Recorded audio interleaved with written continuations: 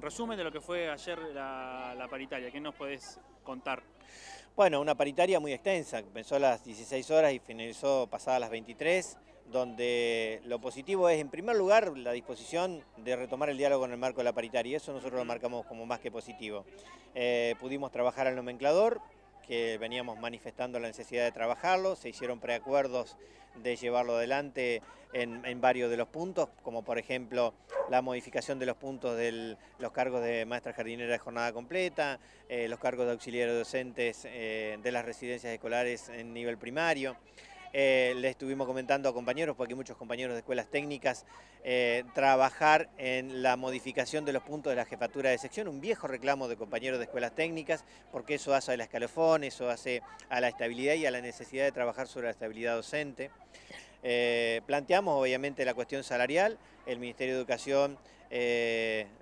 planteó que va a cumplir el compromiso de reabrir la discusión eh, paritaria y salarial a partir de septiembre, por lo cual el 12 de septiembre ya he fijado una nueva paritaria para discutir salario. Eh, trabajamos obviamente el 0800, que es el proyecto Comunicarnos,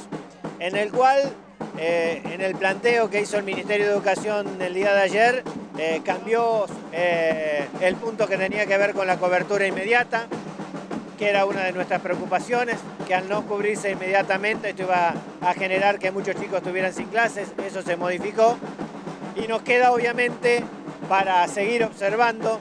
si realmente este sistema de 0800 con la realidad de la comunicación, con la realidad de la conectividad que tiene la provincia de Río Negro, va a ser realmente efectivo o realmente va a trabar eh, lo que es la cobertura de licencias. Así que bueno, eh, va a haber un eh, un ensayo, va a haber una simulación de implementación para saber si es factible ponerlo en marcha, a la cual vamos a estar siguiendo muy de cerca para ver eh, qué es lo que sucede.